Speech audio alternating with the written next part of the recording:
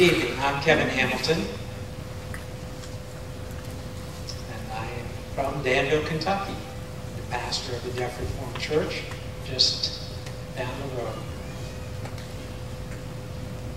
My theme for this evening is the church, the body of Christ.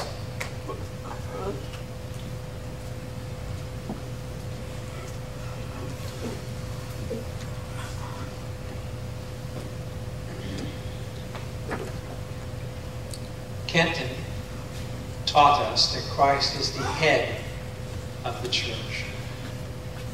But a head has to be the head of something. And Christ is the head of the church, which is the body. And that will be my topic for this evening.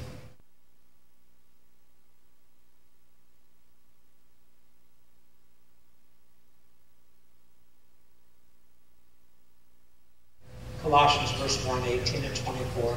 We read that. Jesus is the head of the body, the church.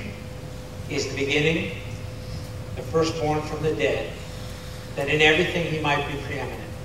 Now I rejoice in my sufferings for your sake. In my flesh, I am filling up what is lacking in Christ's affliction for the sake of his body, that is, the church. Ah.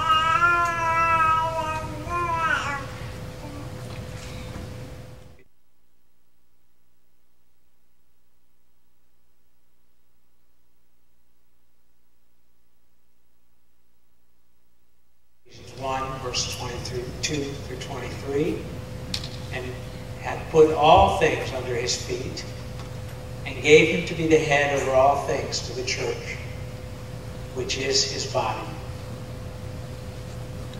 the fullness of him that filleth all in all.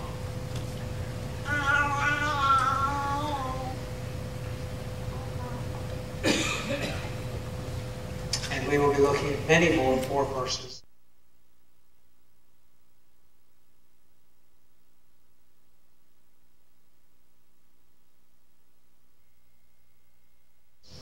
Dealing with the church as the body of Christ. Let's begin by defining the church.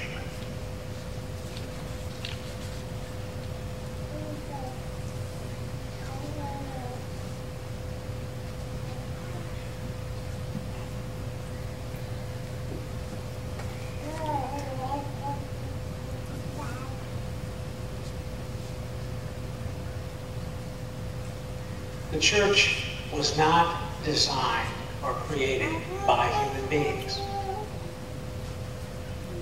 The church is designed by God. It is the gathering of sinners who have been regenerated.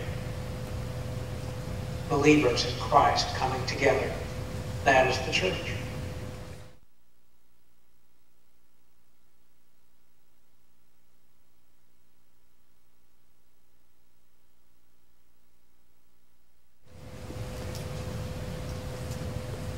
The Greek word for church in the New Testament is ecclesia, which means to call out or to call to.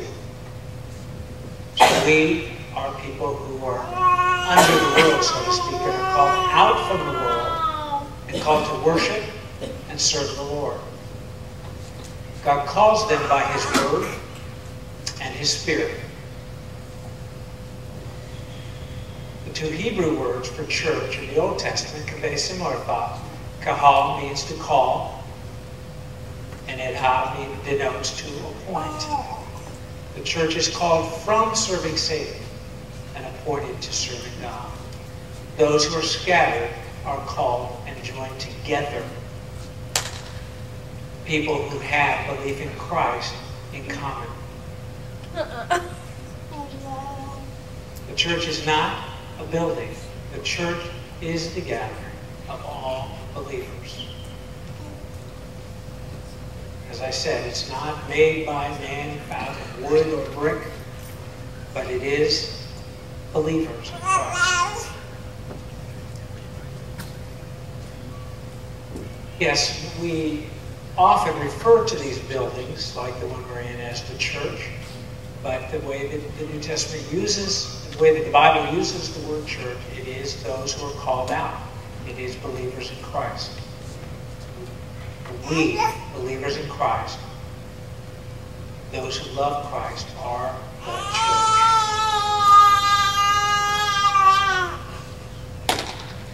So when we're called to love the church, we're not called to love a building. We're called to love others who believe in Christ. And we, the church, are the body of Christ, joined together.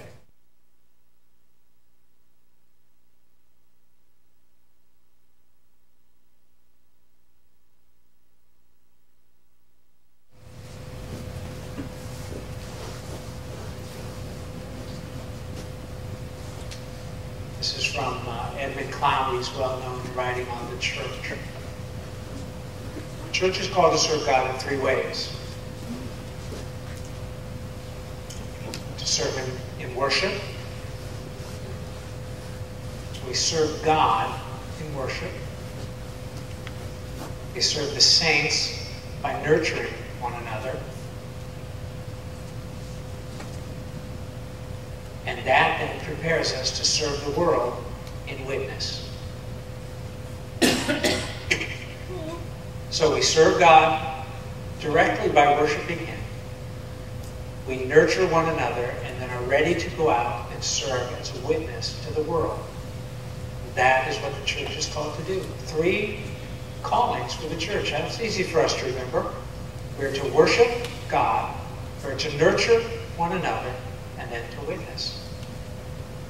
There are people who love to go to church and not be fed. They just go to enjoy the sermon or whatever. But we come together, the body of Christ, to be fed, to edify one another, to be ready to go out into the world to witness. Without that worship and that nurture, we would have nothing to share with the world.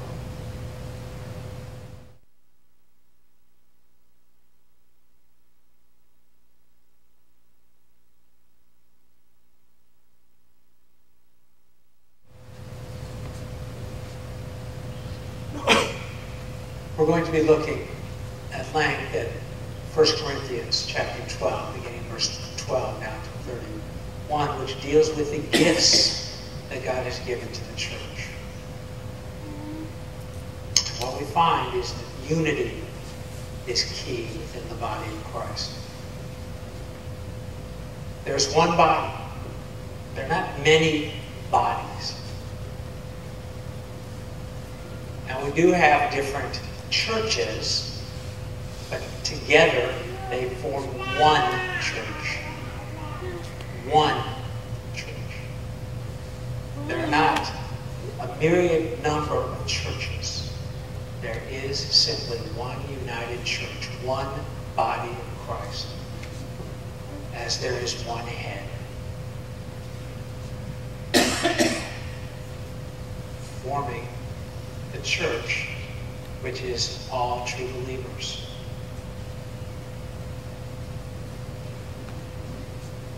Remember talking with a friend who was not a Christian. He was talking about all the different churches that were out there and wondering whether there would be many churches in heaven. And I said that we have many churches here now, partly because of pride, because we want to do things our way. But in heaven there will be only one church. And he couldn't believe that. He said, what will happen to all of these different religions? Won't all people, including Islam, uh, Muslims, go to heaven? And I explained to him that only those who believed in Christ would be in heaven. Because they are the only ones who are the body of Christ. The church must follow their head, Christ, who is supreme. Those who are joined to the head, or part of the body, will be in heaven. Those who are not, of course, won't. It was interesting. We had a, a civil discussion His family was from a completely different religion. It was very interesting.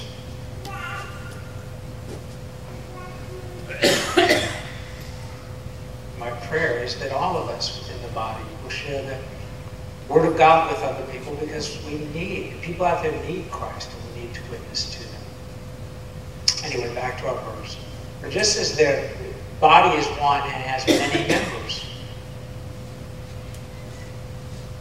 this is compared to our bodies. I have one body, but look, I have five fingers on this hand. I have all of these bones and muscles and tissues put together. There are many members of my one body. I have a heart beating within inside. So not only is everything that you see outwardly, but I have internal organs and uh, ribs and uh, throat. I have a brain.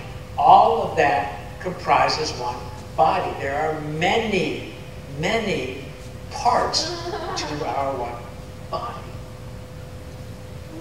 Think about. How many people are here? We have a hundred people here. That is many members, but there is only one body. That is Christ.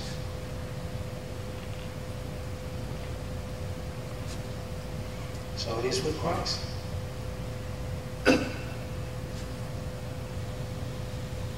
There's one body.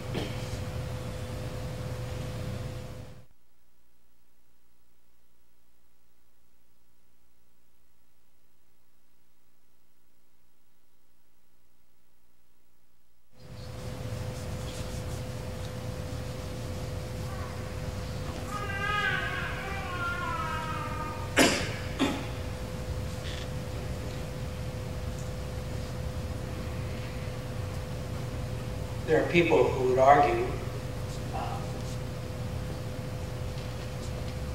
that one part of the body is more important than another part of the body. Like the foot might say to the hand, it is more important. But all of our members, our feet and our hands, are part of the same body.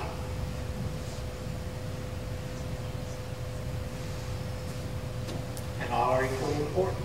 If the ear should say, because I'm not an eye, I don't belong to the body, that would make sense. All of our parts work together to make one body. Imagine if all the body were an eye. Where would be the sense of smell? Hearing. There would not be any. Because we would just be an eye. That's impossible. And I noticed some of you laughed over the idea of us being one big, gigantic eyeball. And we were one eyeball, we wouldn't be able to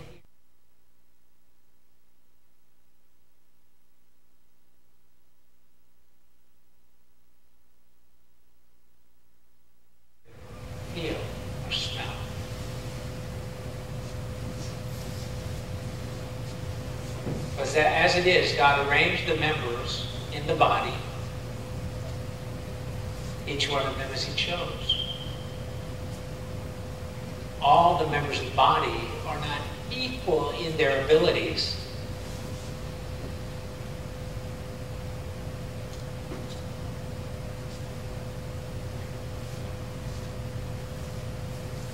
I don't know squat about fixing cars. But there are people within the body who are able to do that, and they can help me do that kind of work. Others who are skilled at cleaning, others in computer technology.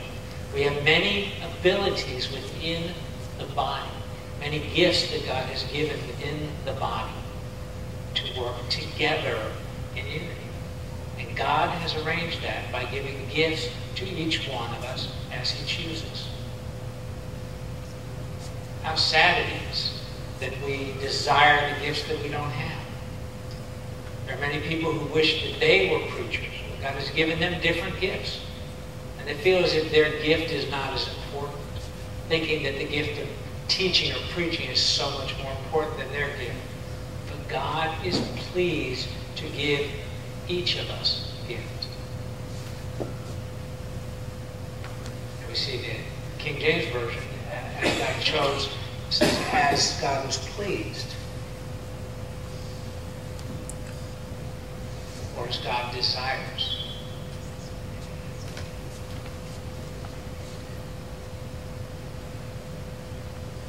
God has arranged the members in the body as he has chosen.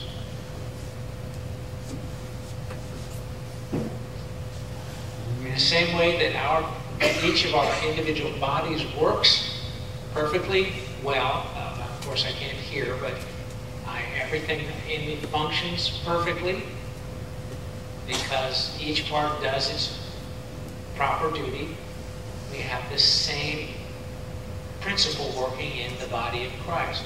There are some who are pastors, some elders, we have janitors, interpreters, those with the gifts of help, those who take care of children. Gift after gift after gift has been given by God to the church. And we should not complain over what God has given to us. Remember, as Kenton said, God is, Christ is preeminent. Who are we to complain over the gift that he has given to us? Rather, we humbly submit and use the gift that he has given to us joyfully because we are in Christ.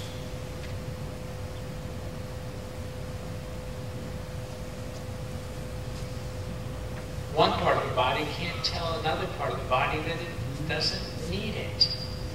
Our bodies work together in unity. We could function if we had lost one of our arms, but we couldn't live if we lost our heart. We need our hearts. We couldn't without our lungs or our liver. There are parts of the body that is absolute, that are absolutely essential to maintain life. And you can't see my heart beating. There's no evidence for you to see because my heart is beating within inside me. And yet it is vitally important. It would seem to us that our hands and our eyes are most important because that's the way we communicate. That's what we see. And yet the heart, which is hidden, is vital Organ. You know, people don't recognize the heart.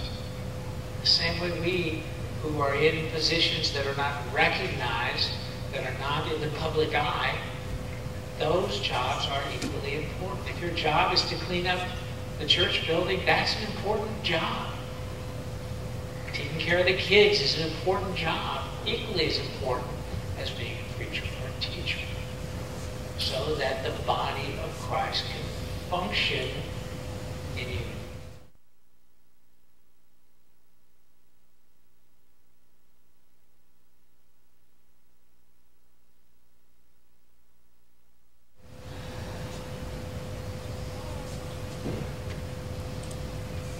and it would seem to us that those weaker parts of the body are less important.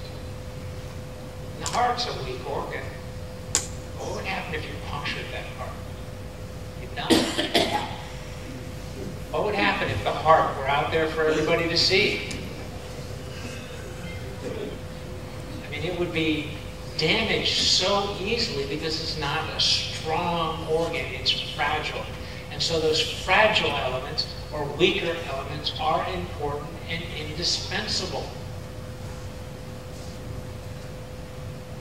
We would die were our hearts to be smashed.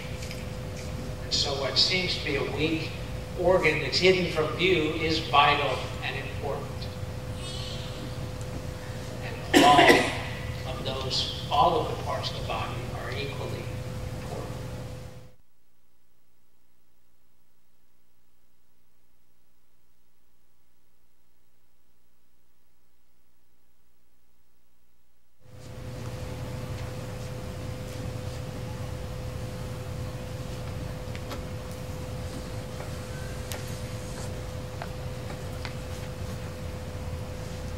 There may be no division in the body.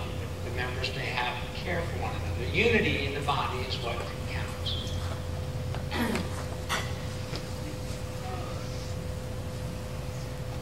If you were to lose one of your limbs, your life would change drastically.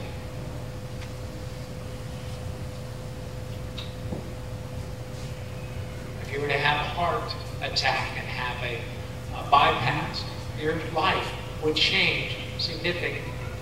Each part of the body influences the rest of the body because the body works together as one. Have you ever had a paper cut?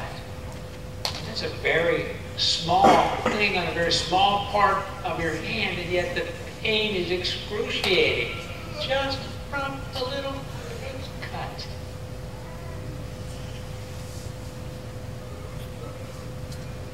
And look what happens when you get a paper cut.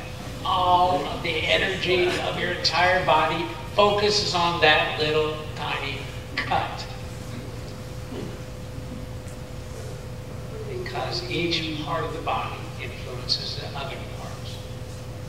When one hurts, the others hurt with him. They come to encourage, to help, to comfort.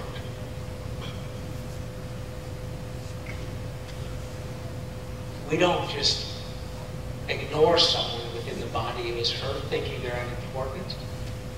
And think of that paper cut. It's a small cut, but the entire body comes to its aid. And so when someone within the body is hurting, we come to their aid. The body might.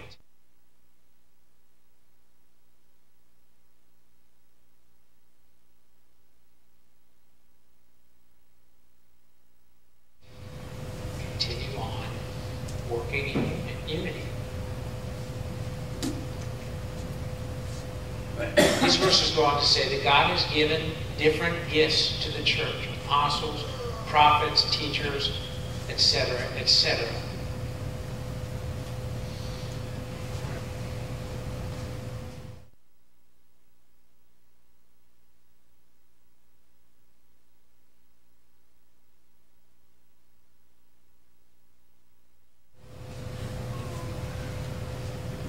Now, this is something that I, interesting that I read about the amazing way in which the body works together. If you're an adult of average weight, now that wouldn't include me because I'm clearly overweight. Here's what you accomplish in 24 hours. Your heart beats 103,689 times, over 100,000 times in a day. Your blood travels 168 million miles. Imagine when we just have to drive 300 miles, how tired we get. Our blood flows 168 million miles in a day. And that's how quickly blood through our body.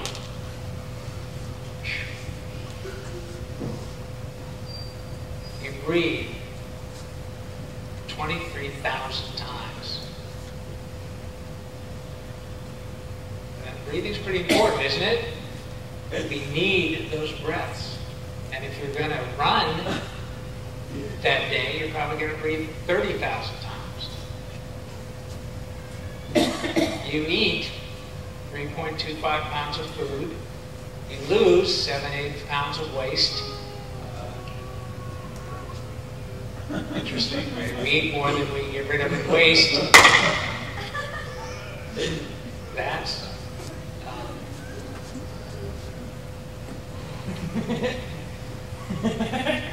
oh, sorry, it's seven or eight pounds of waste.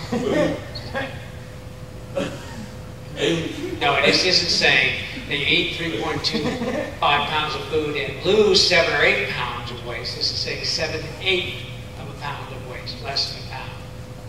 You move 750 muscles. All of this is working together in any given day. So we can look at the human body and be amazed at how it works. And from that we learn the lesson that if the church is the body of Christ, how important it is that it works together and that every part works. And we may neglect those who seem to be less intelligent than we are, or who seem to be a little bit off. They are just as important part of the body of Christ as anyone there are not two bodies the intelligent body and the not so smart body. There's one body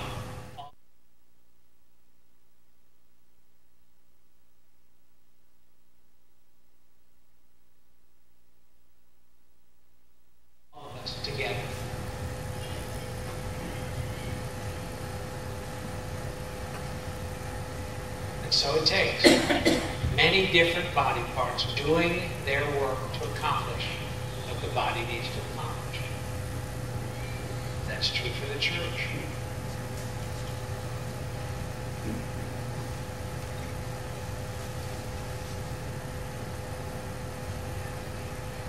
Look at uh, Deaf Reform Ministries and the work that we do and uh, the people that it takes to run Deaf Reform Ministries.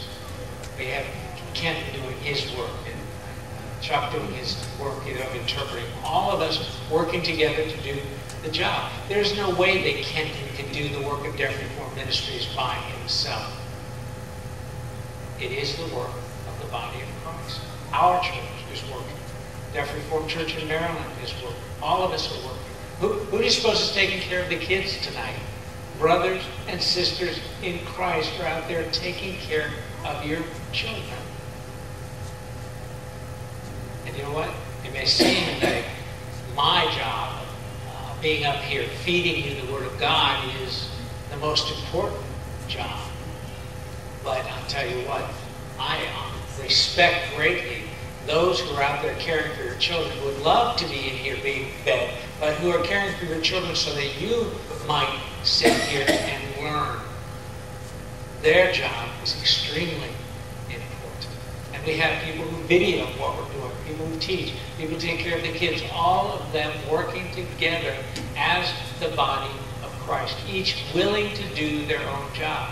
There are people sitting at registration table for hours on end, not able to take the time to talk to whoever they want to. We have people taking care of the babies over in the nursery. All of the parts working together to make Sovereign Grace Deaf Conference run. In the church, we have elders who have oversight over the church. We have deacons who care for the practical needs within the church. We have pastors who feed you with the Word of God, all working together. And so we need many people to accomplish the task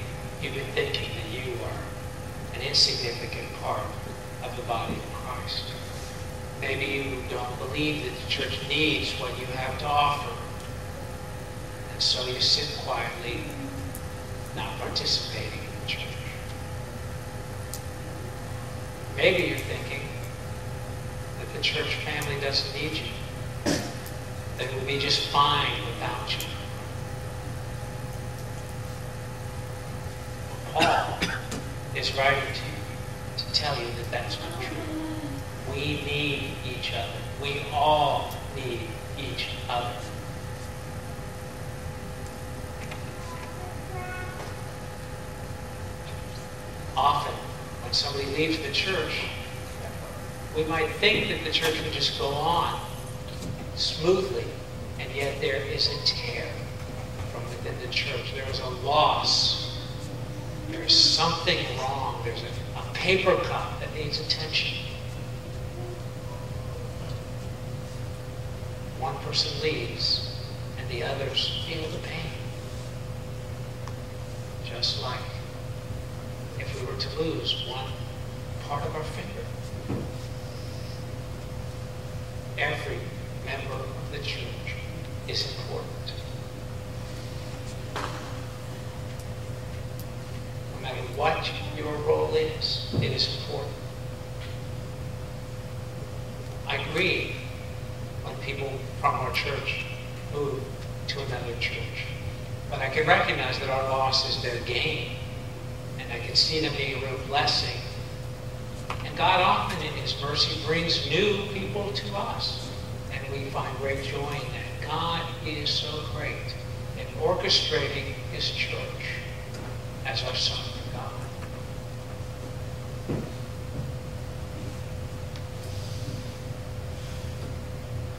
And so every part of the body of Christ is necessary. Every member of the church is necessary.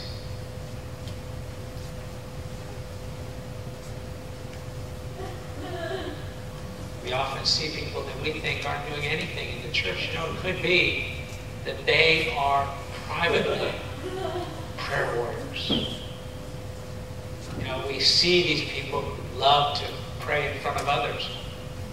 But that we need those people who are prayer warriors, and you don't even know who they are. Every member of the body is needed. Those who pray may not be seen by the rest of the body, services are valuable. There may be people who are giving a great deal to the poor, anonymous, not for all to see. Now, there are lots of people who love to let the world know what they are giving to others. There's those people out there who are quietly giving others, and we don't, know about it. And the body needs them, even though we don't what they're doing.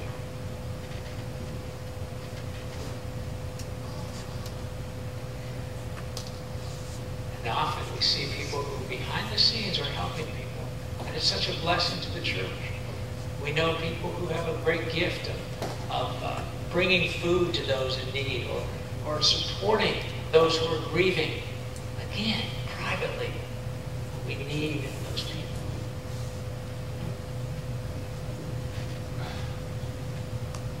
The Christian life not a movie for all to see. We don't know what others in the body of Christ are doing. All of them are important to the function.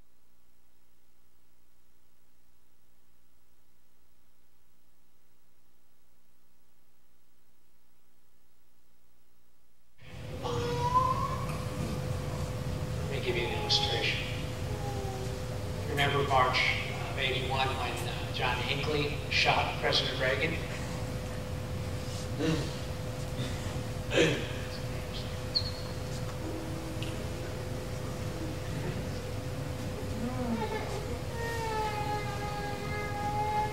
People were up in arms.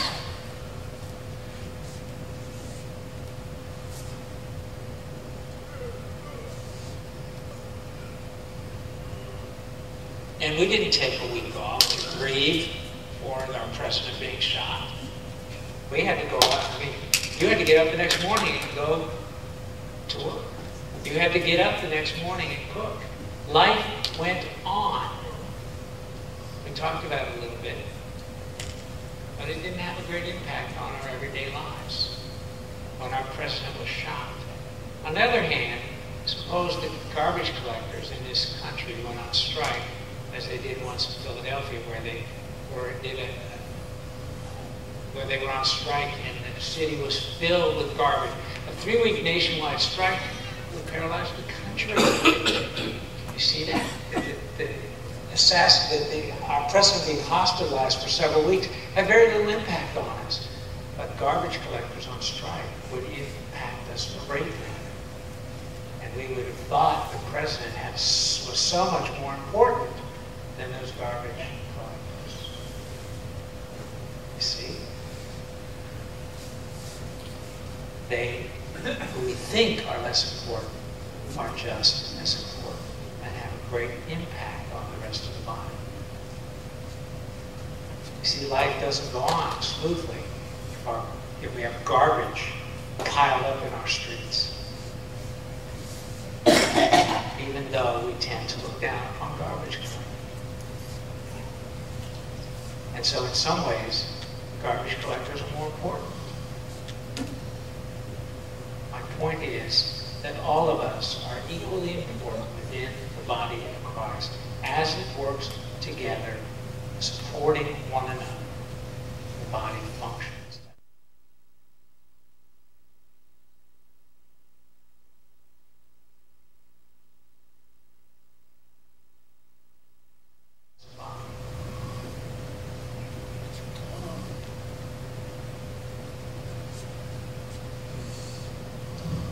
Jesus loves the church.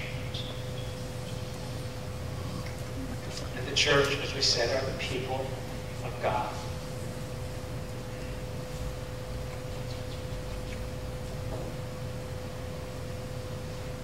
What happens when a member of the church is envious of the gift that a pastor has?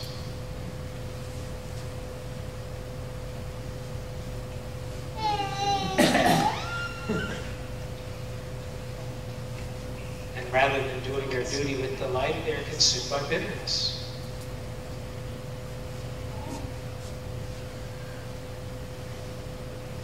Let me ask you this. Jesus loved the preacher more than the janitor? Of course not. There is one body, the church. And he loves the body. It's not just piece of the body that he loves. He doesn't love, for example, one finger and reject the other, but he loves the body of Christ. We don't have a paper cut on our right hand and give it all of our attention and ignore one on our left hand. The body is one and all parts are equally important. Christ loves the body. Me go back to this janitor who is feeling envious of the pastor. And he's struggling with pride. He's self-centered. He needs to repent. Imagine a preacher who thinks that he's much better than the janitor who thanks God that he wasn't a janitor, is also struggling with pride and needs to repent. You see, they both need to repent. They're both sinning. We are equal. There are not some who are better than others. And there are not some who need to be successful and others who don't. We all need to work together successfully. If we didn't have a uh, janitor we, doing his job, we'd have a dirty church to worship in. There isn't one member of the body that's good and another member of the body that's bad. They're both good and important. Now here in America, we are very individualistic and we think that we need to recognize the individual. But Christ is saying that there is one body. All members of the church make up one body. Yes, there are many members, but there is one body.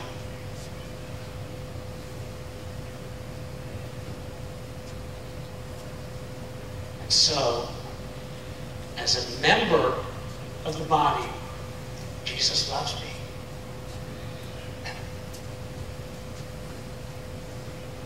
As Kenton said, because we're in Christ. We're saying, what, 250 times or something like that.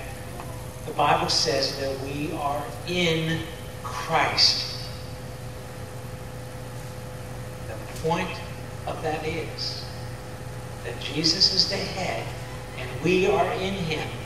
And that gives us great joy. And whatever gifts he gives to us, we should be happy with. We should rejoice no matter what gift we are given. Whatever work God gives us to do, we should rejoice. If he wants to make us prayer warriors, rejoice in being a prayer warrior. If he wants to make you a teacher, rejoice in being a teacher because you're in Christ regardless. That is great. It beats the alternative of being outside of Christ. Would you rather be a janitor in Christ than to be the president of some CEO of some major company and be outside of Christ?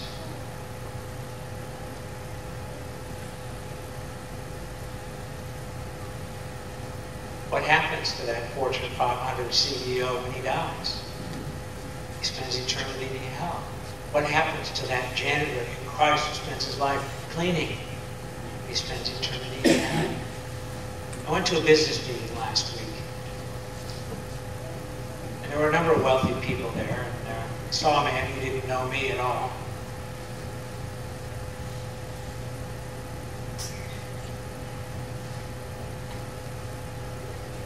And he said to me, these guys with all their money better than those fools who worship in churches. Because again, I said he didn't know who I was.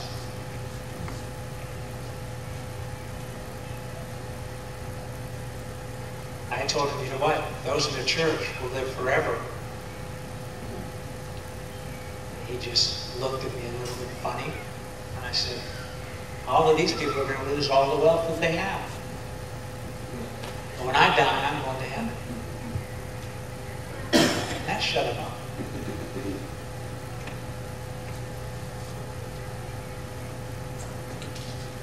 You know, we're so impressed, enamored with the things of the world, what the world views as great, but those people, in all of their wealth, have no hope. All of that wealth cannot get them into heaven. John 15, verse 5 and following, speaks of Jesus as the vine with many branches. And that each of those branches needs to be, is nourished by the one vine, Christ. And if one of those were not nourished, it would wither and die and be cut off, lifeless, and thrown into the fire. Are you grafted into Christ? Are you being nourished by Christ, the vine? Are you without life? If you are without life, you will be thrown into the fire. So which are you? Are you in Christ? Are you alive in Christ? Are you lifeless? And if you are in Christ, whatever God has given to you to do, accept it and rejoice in it as you serve Him. Nobody needs to feel inferior. You have been given different gifts by God. I, I didn't want to be a pastor growing up. There were other things I had in my mind. And then God turned my life and I became a pastor.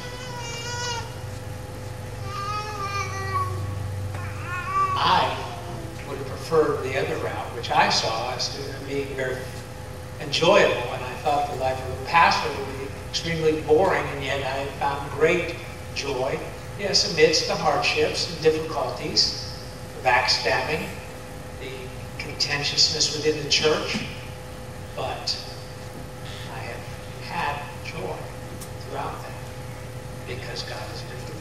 God is with each of us. And God tests us. God disciplines us that we might find joy in Him. What a blessing to be in Christ. And our, my sources are just these three.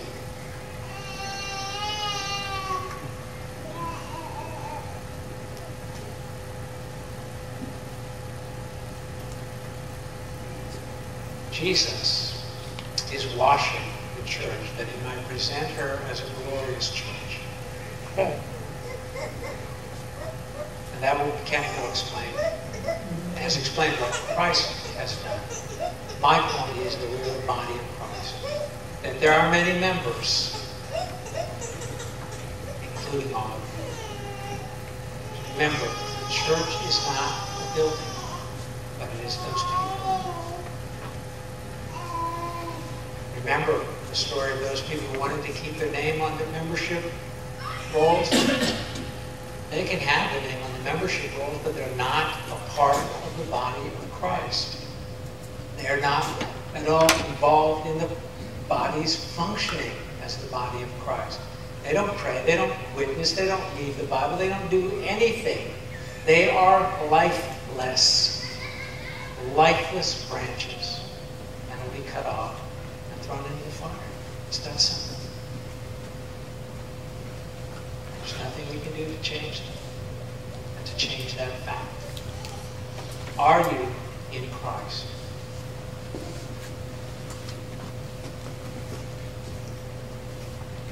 What is your attitude towards the church? Are you a part of the church? A part of the church, the body of Christ, as it functions together. When I go to church, I'm excited.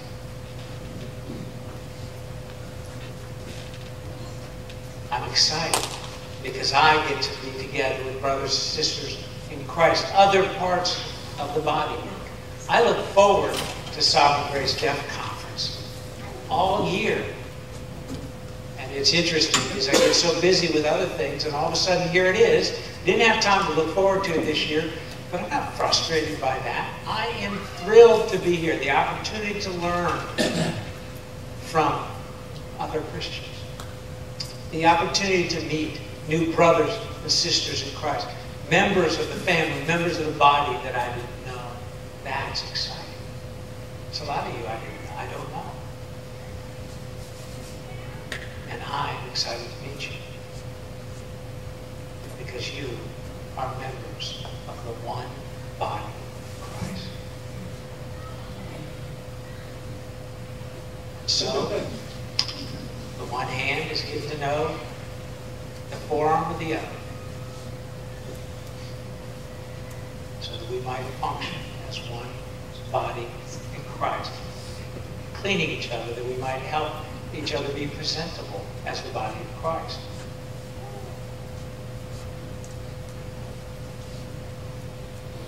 Because I want to know all the parts of the body. I mean, I want to know the toenails. The fingers need to know the toenails so they can get down there and keep them trim and looking good. Do you agree? Amen? We are. We are the one body of Christ. Let's pray. Our Heavenly Father, sovereign ruler, you have designed the body to work and have used that as an illustration for us to see how the body of Christ functions. That Jesus Christ is the head so we honor obey and encourage one another, that we might establish each other in Christ. Yes, you'll give given some to be pastors, some to be teachers, and some are better teachers than others, but we do it joyfully. And we all come together, able to fellowship, being great, grateful to you for what you have done. Father, I thank you for the opportunity to meet so many others who are in your body, the body of Christ, functioning under Christ, our preeminent head. We thank you. We find great joy and delight in being here. And I know you delight to have parts of the body meet other parts of the body.